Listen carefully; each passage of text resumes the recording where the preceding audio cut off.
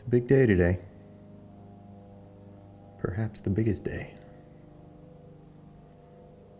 My new film fridge comes today.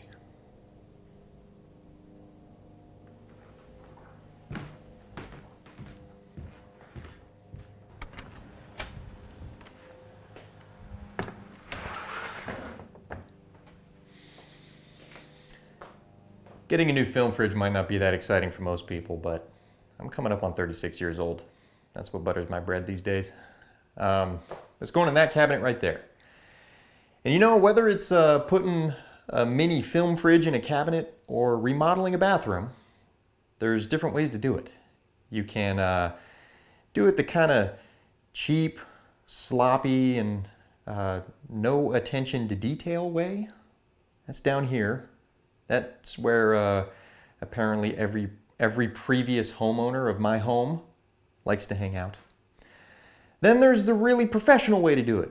Good attention to detail, no expense spared. It's done just perfectly. That's where the master carpenters like to hang out. Then there's over here, where you put so much thought into it that uh, when it's done, it's actually kind of embarrassing to share it with anybody. Uh, thinking about how much mental energy and time you put in to this stupid thing. That's where I like to hang out. But uh, that's how we're to do it. So it's to sit on this shelf right here. And um, you think, oh, well, just sit it on the shelf. You're good to go. But uh, that's not how I like to operate. So the good news is there's already power in here. There happened to be an outlet pretty high up the wall behind the cabinet. And uh, I've been waiting for this cabinet to come back in stock for the longest time. And uh, finally got it in, built it a couple week weekends ago. And um, just cut a hole in the back panel so that the outlet was accessible from inside the cabinet. But um, you can't really just throw a fridge in a cabinet because the thing with fridges is they don't make cold air. They're actually a heat exchange. So they remove the heat from inside the fridge, and that's what makes the fridge cold.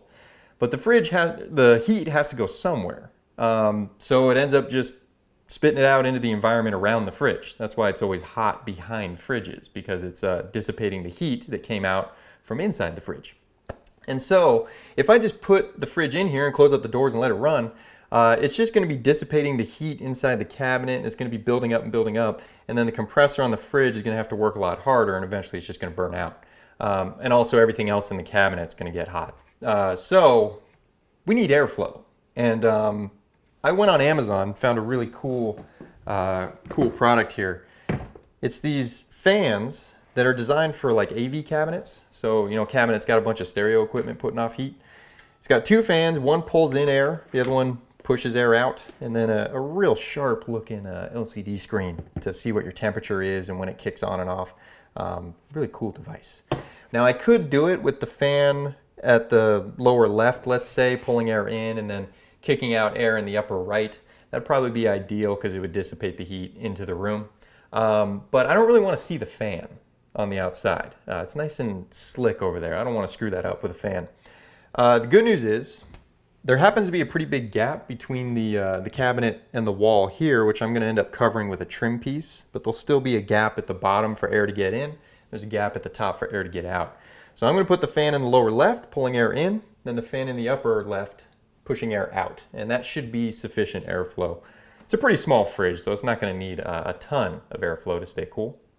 Uh, so I'm going to have to cut some holes uh, for the two fans and also the, uh, LCD screen. And uh, the other thing I'm gonna have to do is, you know, if I have a fan down here and a fan up here, the airflow can't get past the, uh, the shelves. So I'm gonna need to cut uh, a pretty big uh, opening in the back of both of these shelves. Uh, and that should actually be perfect because that will create kind of an envelope of moving air, uh, let's say, going past the back of the fridge, pulling that heat right up and out the top. And um, that should be perfect. So we got to get to measuring, uh, marking, and cutting.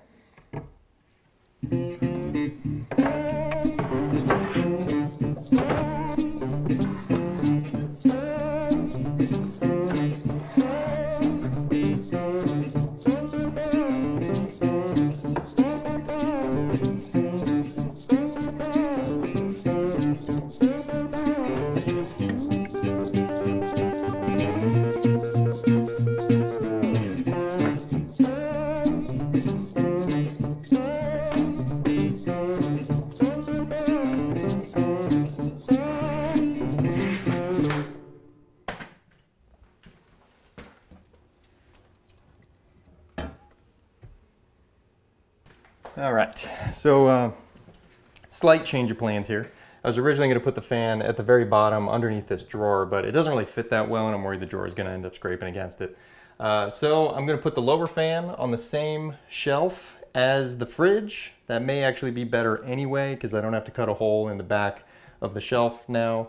And um, also, that's going to put the airflow right into the back of the fridge, so that's just going to give it real nice fresh air. Um, but I don't want to cut anything until the fridge is here. I want to dry fit the fridge, make sure the spacing and everything is good, and where the fans are is, uh, is something I'm happy with. So now we just got to wait on FedEx to uh, bring me my present.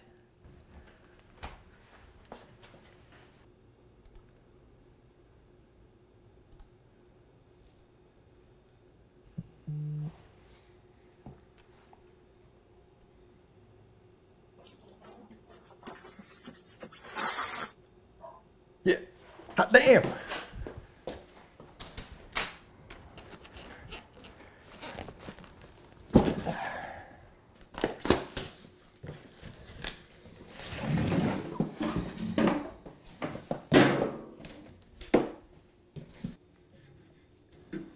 Man, FedEx really beat the shit out of this thing. Some broken things in the back here. At least the glass on the front's fine. Stainless steel had this protective plastic.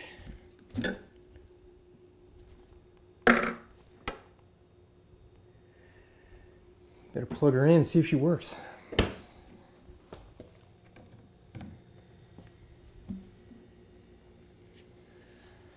Start it up. It's just the LED. I guess we'll let it run for a bit, see if it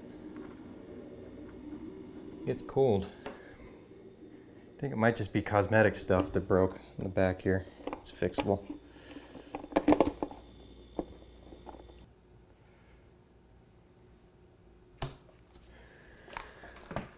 All right, it's been running for a while. Let's see where we're at.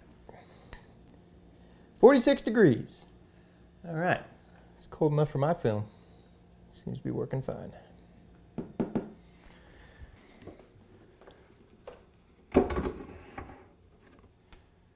I think that'll do just fine.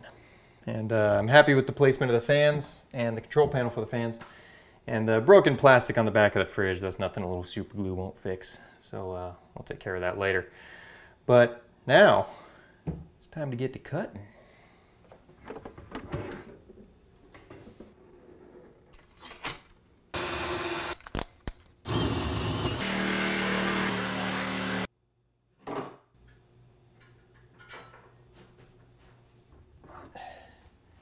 Yeah, I that. It's gonna look great. One hole down, two to go. That, no, all right.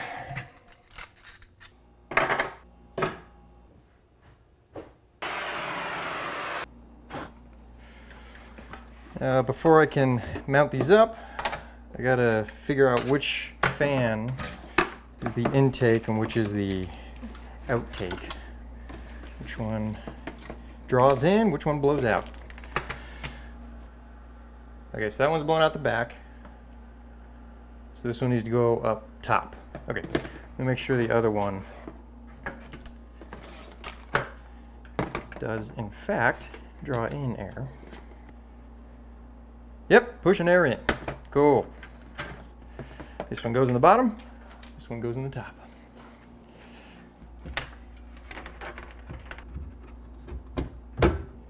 The fans, by the way, plug into the control panel by way of a standard USB connection. Also, each fan can be reversed in its mount, and they can be daisy chained to each other, which allows you to connect more than two fans to one control panel. So the whole system is quite customizable and very well built. I believe it comes in white too. All right, we're in business. Air coming in, air going out. Yeah, all right. One last piece of the puzzle is there's a temperature probe. Uh, that you connect up to the control panel, and that's for the auto on function. So I'm just gonna run that back through where the power cord goes out. And then um, I'm gonna have to cut a hole or notch out a corner of this shelf so that the fridge's power cord can go down. And I'll just bring the, the thermometer, the probe, up that way. Yeah, not too shabby.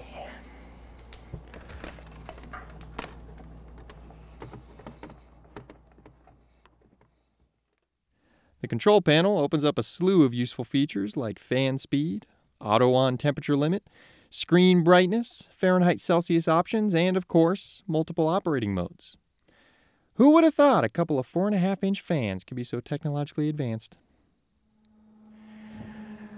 Well, it's day two here, and um, this morning I cut a notch in the back of the bottom shelf for the fridge power cord, and then uh, I took a full three quarters of an inch off the back of the top shelf to get my airflow from uh, lower fan to upper fan, and that should be plenty. Uh, but there's just one more thing I got to do today before I can throw this puppy in the cabinet. And by the way, sorry for the uh, background noise. Uh, my wife's going to town on her nightstand with a power sander. If you know what I mean. but remember earlier I told you how uh, I've put so much thought and mental energy into this project that it's bordering on embarrassing? Uh, well, you're about to understand why. So I looked at a lot of fridges for this. Um, I specifically wanted a glass front fridge because I wanted to be able to see my film inside without having to open it. Um, but I finally settled on this fridge for a very specific reason. Aside from the fact that it's uh, just the right size, I got it because it's a countertop merchandise fridge, which means it's meant to sit in like a, you know, a donut shop or something with their sodas on display. And uh, the reason I want one of, I wanted one of those is it has an LED light inside, but unlike a normal fridge, it doesn't turn on the LED light when you open the door. There's a manual switch in the back of the fridge. But I wanted this specifically, not because I want the light to stay on all the time, but because what I would like is for the light to turn on, not when I open the fridge door, but when I open the cabinet door. Wouldn't that be killer? And so I went on uh, Amazon and got myself some uh, pressure switches. These are meant for cabinet lighting. And uh, these are pretty cheap and they look pretty easy to wire up. And I'm going to take the manual switch off of the, the fridge here, wire up this bad boy, and um, get me kind of a Frankenstein situation going, but it should turn on the light every time uh, I open the cabinet door. Now the great news is, I took off the back here and uh, I can see that the switch inside is not soldered in. It's uh, attached with uh, what are called spade connectors. And that's gonna make my life a whole lot easier because I don't need to undo any soldering or do any soldering myself. And wouldn't you know it, I got a whole bunch of spade connectors myself. So uh, I'm gonna make uh, a connection from that to this, and then we should be in business. As far as electrical modifications go, this is about as simple as it gets. But obviously, if you aren't comfortable with this kind of thing, don't do it. Or at the very least, just make sure the fridge is unplugged when you're messing with the wiring. I was happy to see that the switch worked as advertised, and that sparks didn't start flying out the back of the fridge. Now, it would have been real easy to run the wires inside the cabinet, but because I had the extra hidden space to the top and side of the unit, I, of course, drilled a hole and ran the wires along the outside. Because, hey, I wasn't about to start half assing things now. Sure, I could have easily mounted that switch on the same shelf as the fridge, instead of way up at the top of the cabinet. And then it would require only a short run of cable, no feeding wires, no drilling holes. But then what? Have that little switch winking at me every time I open the cabinet to get some film? Come on.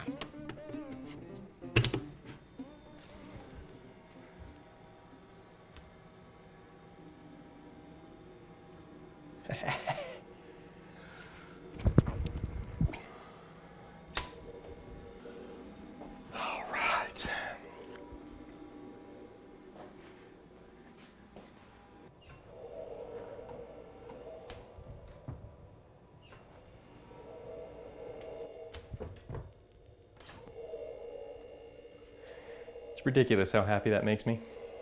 my stupid little fridge with my stupid little light to hold all my stupid little films.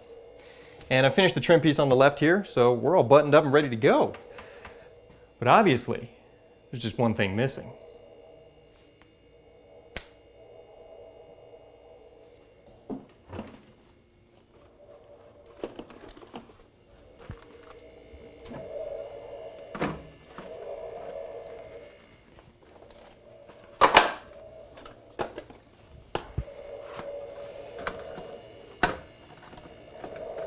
Well, there you have it. My overly complicated, overly thought out, perfect in every way badass film fridge.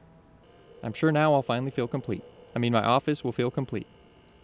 I've been monitoring the whole system for the past few days, and the fridge maintains a consistent temperature of about 47 degrees Fahrenheit. It's not going to keep your pot roast from spoiling, but it's a fine temperature for my film. I have the fan set to turn on if the air behind the fridge exceeds 85 degrees. And I've noticed the fans automatically kicking on now and then, but not constantly. They certainly don't struggle to get the cabinet temperature back down. I think if I went with a fridge much bigger than this or one that had a lower internal temperature, it might put off too much heat to be in a cabinet. Plus, the extra power draw wouldn't be good. So, although this fridge is small, it's really quite perfect for this application. Compact, efficient, slick, nice.